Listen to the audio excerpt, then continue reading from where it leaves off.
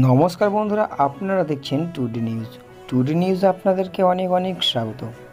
সকাল থেকে আকাশে মুখ ভার। আগামী বাহাত্তর ঘণ্টার জন্য প্রবল দুর্যোগের আশঙ্কা জানালো আলিপুর আবহাওয়া দপ্তর।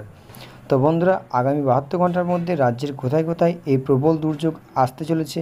তো এই বিষয়ে আবহাওয়া দপ্তর কী জানাচ্ছেন? তো এ টু জেড আপনাদেরকে এই ভিডিওটির মাধ্যমে জানিয়ে দেবো। বিস্তারিত জানতে হলে ভিডিওটিকে শেষ পর্যন্ত অবশ্যই দেখবেন। ভিডিওটিকে ভালো লাগলে একটি লাইক করবেন। আর এ ধরনের আবহাওয়ার গুরুত্বপূর্ণ খবরগুলি আপডেট পেতে হলে আমাদের চ্যানেলটিকে সাবস্ক্রাইব করে সাথে থাকবেন। ভিডিওটি আপনি কোথায় থেকে দেখছেন এবং সেখানকার আবহাওয়া পরিস্থিতি কেমন থাকছে, ভিডিওর কমেন্ট বক্সে অবশ্যই কমেন্ট করে জানাবেন। কয়েকদিনের ভ্যাবসা গরমের পর রবিবার সকালে মেঘে ঢাকলো গোটা রাজ্য। ভোর থেকে উপকূলীয় জেলাগুলিতে শুরু হয়েছে হালকা থেকে মাঝারি বৃষ্টি। হাওয়া অফিসের তথ্য বলছে, দু এক ঘণ্টার মধ্যে মুষলধারে বৃষ্টি নামবে কলকাতা দুই দু চব্বিশ পরগনা, হাওড়া, হুগলি, পূর্ব মেদিনীপুরে বর্ধমানে। ক্রমশ বাড়ছে বৃষ্টির তীব্রতা, পাশাপাশি উত্তরের জেলাগুলিতে বৃষ্টি হবে বলে জানা গিয়েছে। সব মিলিয়ে আগামী বাহাত্তর ঘন্টায় বাংলার প্রবল দুর্যোগে আশঙ্কা করছেন আবহাওয়াবিদরা। আলিপুর আবহাওয়া অফিস জানিয়েছে, বঙ্গোপসাগরে নিম্নচাপ তৈরি হচ্ছে। পরবর্তীতে তা শরীরে গাঙ্গে পশ্চিমবঙ্গে অবস্থান ও ক্রমশ শক্তি বৃদ্ধি করবে। যার ফলে রবিবার এবং সোমবার, মঙ্গলবার মাঝারি থেকে ভারী বৃষ্টি হবে দুই বঙ্গে। সেই কারণে বেশ কিছু জেলায় হলুদ সতর্কতা জারি করা হয়েছে। সমুদ্র উত্তাল হতে পারে এই আশঙ্কা করে কুড়ি থেকে বাইশে সেপ্টেম্বর পর্যন্ত মৎস্যজীবীদের সমুদ্রে যাওয়ার ক্ষেত্রে নিষেধাজ্ঞা জারি করা হয়েছে।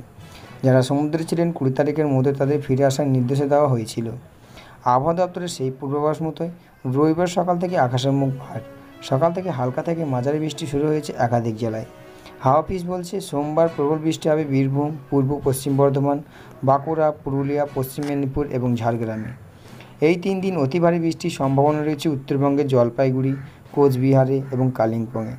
ফলে নদী জলের তাপমাত্রা আরও বেড়ে যাওয়ার আশঙ্কা করে সকলকে সতর্ক করেছেন আবহাওয়াবিদরা। টানা বৃষ্টি জেরে দার্জিলিং, কালিম্পংয়ে ভূমিধস হতে পারে বলে মনে করছেন তারা। উল্লেখ্য, রবিবার কলকাতার সর্বনিম্ন তাপমাত্রা উনত্রিশ ডিগ্রি সেলসিয়াস এবং শনিবার সন্ধ্যে তাপমাত্রা ছিল পঁয়ত্রিশ পয়েন্ট তিন ডিগ্রি সেলসিয়াস। বাতাসের সর্বনিম্ন আর্দ্রতার পরিমাণ ছিল একষট্টি শতাংশ থেকে চুরানব্বই শতাংশ। প্রসঙ্গত এই দুর্যোগের কারণে পরিষেবা বিঘ্নিত হতে পারে বলে এগিয়ে জানিয়েছে সিইএসসি। গ্রাহকদের সুবিধার্থে হেল্পলাইন নম্বরও দেওয়া হয়েছে। তো বন্ধুরা, অবশ্যই বিস্তারিত বুঝতে পারলেন। তো এই ছিল আবহাওয়া দপ্তর থেকে পাওয়া লেটেস্ট খবর। ভিডিওটিকে ভালো লাগলে একটি লাইক করে যাবেন। আর এই ধরনের আবহাওয়ার গুরুত্বপূর্ণ খবরগুলি আপডেট পেতে হলে আমাদের চ্যানেলটিকে সাবস্ক্রাইব করে সাথে থাকবেন। ভিডিওটিকে জনস্বার্থে প্রচুর পরিমাণে শেয়ার করে দেবেন, যাতে অন্যরা দেখার সুযোগ পায়।